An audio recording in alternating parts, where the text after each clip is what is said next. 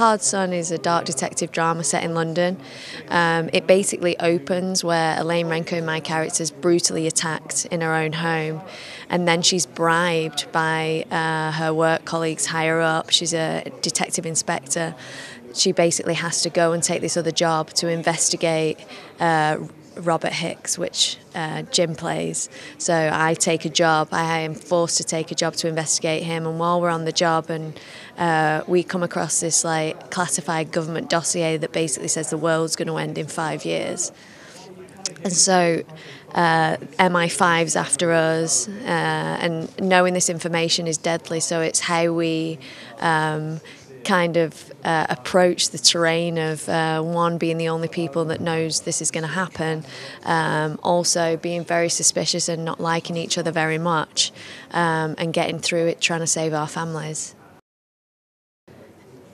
I mean, Elaine Renko, like, you see her at first, and it's just like so intense physically. You know, she's fighting, she's being attacked, she's but she's holding her own. So you just think like, how is this person like trained to fight like this? And you just realise that, you know, she's had a very, very um, hard childhood, um, a very abusive relationships, and she's had to like take care of herself. Like no one else will look after her, no one else will take care of her, no one else will save her apart from herself.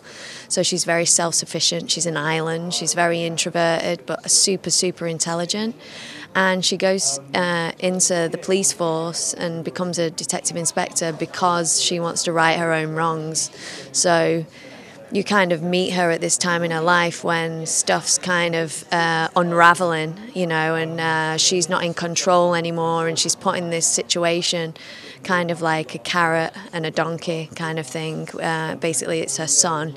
Um, and she's just so strong and so decisive. Um, that I when I read it, I just like, who is this woman? You take away all the projections of what a woman should be and all the sexuality that's kind of put on someone in film and TV, and you and you kind of take away gender and you have this human to human story about two partners that really dislike each other and are secretive and kind of have to come together, um, uh, you know, to solve. Um, you know the problems that they're going through and to be supportive in this time that no one else understands so.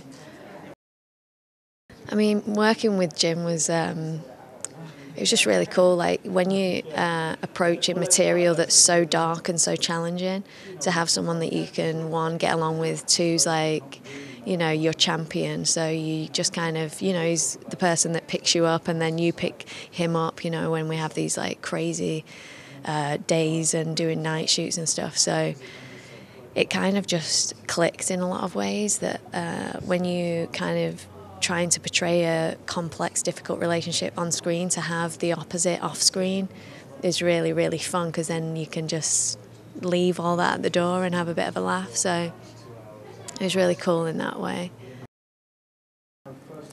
One, Neil has such a vivid, uh, fantastic imagination and to the writing. Like he writes uh, the language that he writes. Um, we don't change it. We don't change anything, and that was we knew that from the get go that the language is something that um, is a very important part of the show to keep it timeless. You know, to to make it. Um, uh, to create the world, and the language is very important. So, and, and specifically to each character. Um, and that was very important, I know, to Neil, and it was really cool working with him on. Um, you know, being like, why am I doing that, and why am I, why am I saying that, and to really like play tennis with him and really understand the material was so fun, especially like with a mind so brilliant. so, um, yeah, it was just so cool to work with someone um, that is so brilliant, and also you don't never get to work that closely with the writers you know, on things. You know, you just kind of so uh, we work very closely with Neil and then Brian, um, uh, the director of the first block. So we were kind of like winning, like from the get go. Fingers crossed. I don't know whether it's because people's fascination with with death, life and death, and you know, every like the hu- a human urge, the main human urge in life is to survive. But if you have like an apocalypse, you you impede in that survival. So I think that the fascination comes around this this thing that we don't understand, which is death. We don't know what happens after death. We don't, and I think that in modern day society, especially in the Western world, we're not we don't live in war torn countries. You know, we we actually live like a, a Western civilized life. So the concept of uh, the other is one terrifying. It's like two something that we don't actually know. Um, so I think that just something that we have a high interest to understand and we're not experiencing in this moment. What are you most hoping overall people take away from the series? Um, that they enjoy it, that it, they go on this like exhilarating ride. It's like a thousand miles an hour. Um, to uh, be entertained, to be afraid, to be invigorated, and also like it kind of then posts questions of like what would I do if it, I had so much time to live, and how would I react, and would I make amends to this person, and would I act in a different way if I if I knew the world was going to end, and how you can just do that in your everyday life. So yeah, it just heightens everything. It's definitely an intense ride. It's not for the faint of heart.